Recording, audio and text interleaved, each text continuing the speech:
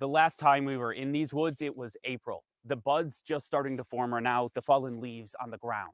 The same ground where just behind me, Jeff Meredith found the body of a five year old boy in a suitcase. At that time, he told me he would give anything to find that boy's name. Today, we can tell you it was Cairo Amar Jordan. Thank the Lord. You know, Cairo's name is the first step towards closure in a crime Jeff reminds us never should have happened. but I just wish that he was stuck there properly before this happened. Before they threw him away. Boy, it still bothers me that somebody would have the audacity to throw somebody else away like that piece of trash. And it was a trash bag inside this suitcase that helped police find the people they say are responsible.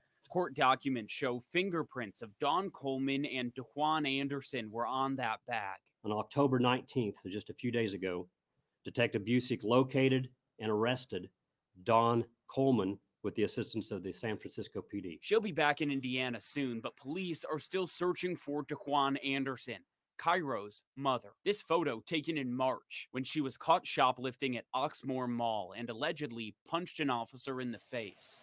Jeff found Cairo less than a month later. And I know at the time you said never going down there again. It's a good day. It really is. Six months I love that since, he's Cairo. comfortable enough to share the spot where he found Cairo.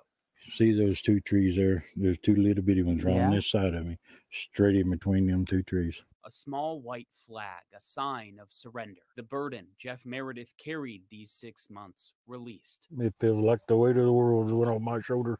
Because when I first saw that little feller's face, it was like he was screaming help to me. The only help I know to do is to call 911. And that's what I did. And it worked. Yeah. And Jeff said his main message he wants to share tonight is a thank you to the Indiana State Police officers who did everything that they could to bring him and all of us the name of this five year old boy. In Washington County, Tom Lally, WHAS 11, on your side. The numbers say Michigan State Okay, now I'm going to take you to one other video that has part of the interview that we just watched.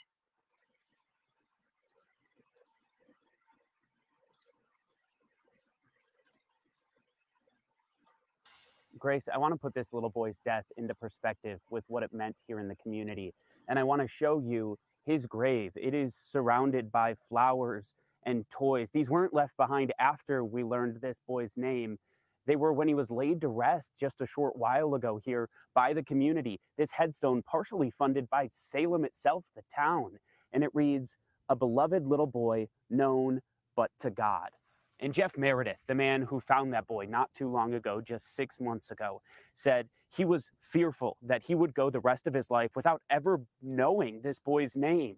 But he said he believed in a promise made to him by Indiana State Police. I'll never forget that words that state trooper told me. There's not going to be uh, a moment lost that we won't be looking and trying to help this little feller. And he promised me, and he he, he came through that he would find who done this. At this time, we can also identify, excuse me, identify the young man that was found in the suitcase.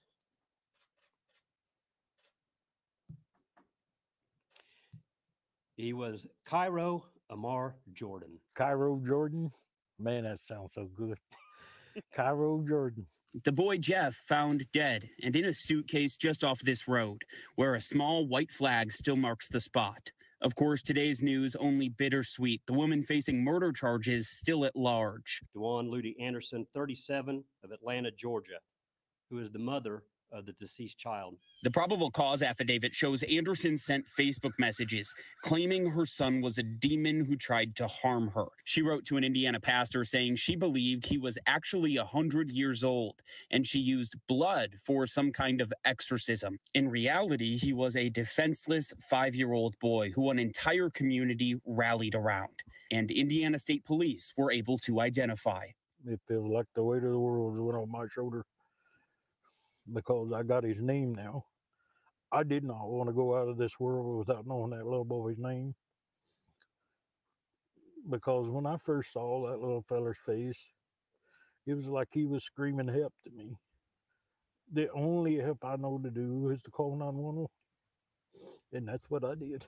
And it worked. Yeah. Thank God for the Indian State Troopers.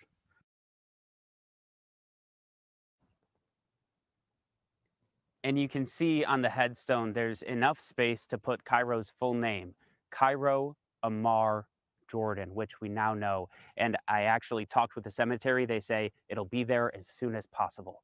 Live in Salem, Tom Lally, WHAS 11, on your side.